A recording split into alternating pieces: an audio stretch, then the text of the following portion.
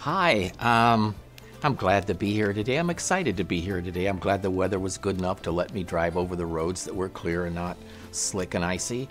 I'm glad for the sunshine and thankful for that. And I'm thankful to be in some place, and I guess if you look around a little bit, I'm in a beautiful old building, and I'm thankful they let us in. Has, has anybody ever thanked you for something and been grateful to you for helping them with something? Did it make you feel good? Have you ever said thank you to somebody for something they did? You know, we found out that people that are thankful for things, little things usually, are happier people, will grow up to be happier people. So um, today I think I'm going to read you a book it's about being thankful for something. I remember when I was maybe your age, sometimes I'd have to wait till Christmas or my birthday, those big special days, to be thankful. But you know, there's only a couple of those a year, and maybe it's more important to be thankful for all those little things in between that add up to lots of big thanks. I'd like to start out and read you a book. Uh, I love the picture here, and the picture is even important about the story, and it's called Here and Now. I always love the inside of a book because they always repeat the outside, don't they? Here and now.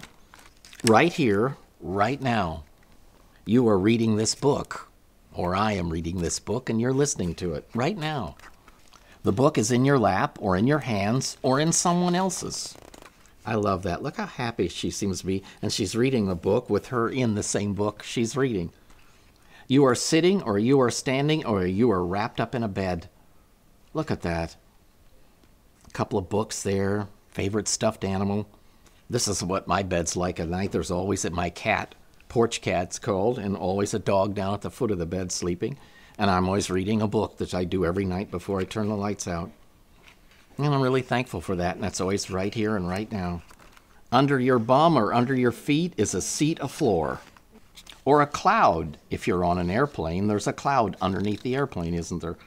And under all of us all of those things is the earth, the grass, and the dirt. I know, look at that. Wouldn't it be neat if you could actually, your eyes could see what's under the dirt under there? And the earth is spinning in the middle of space, and we don't know why, but it is. Do you know right now, as you're sitting here listening to this, that the world we're sitting on is spinning around?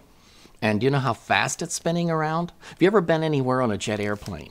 Did you know the world is spinning faster than a jet airplane goes? And yet, I don't feel dizzy, do you? I don't even feel it spinning. That's maybe something you can look up sometime. And you are too. You are spinning around that fast. We just don't feel it and don't see it, do we? But we are. Right here, right now, while you're reading this book, many, many things are happening. Right now, as I'm reading this book to you and you're listening, rain is forming in the belly of a cloud.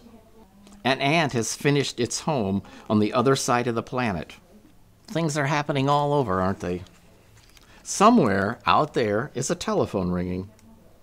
Right now, an idea is blooming. I wonder what they're thinking of. They're thinking they have an idea about something, don't they? Grass is pushing up through cement. You know, right now it's getting warm out again, and the grass is going to start growing and pushing up between the cracks in the sidewalk, isn't it? A friend you haven't met yet is sitting down to dinner. Isn't that kind of exciting to know that out there, all over the place, there are people that you haven't met yet that are going to be the best friends of your life. There are animals, wild and tame, living and breathing all around you. Right here, right now, muscles are growing. I bet yours are growing. Cities are growing. Cut, cuts and broken bones are sewing up and healing. Unseen work is being done. Right here, right now, you are becoming have you ever had a chance to look at your reflection in a pool of water? And if you put your finger in the water, the little ripples, it makes your reflection all kind of curvy and wavy? Isn't it wonderful to be right here and right now and to be thankful that you are right here and right now and that all those things that are so good happening to you and that will happen to you, you can be thankful for? Life is sort of like, when I go back to this, Life is sort of like looking at your face in a little pool of water with the ripples. It doesn't look as clear as a mirror, does it? But life is sort of like that. It isn't always clear and easy, is it? I wonder if you're happy for all the little things we've seen in this book.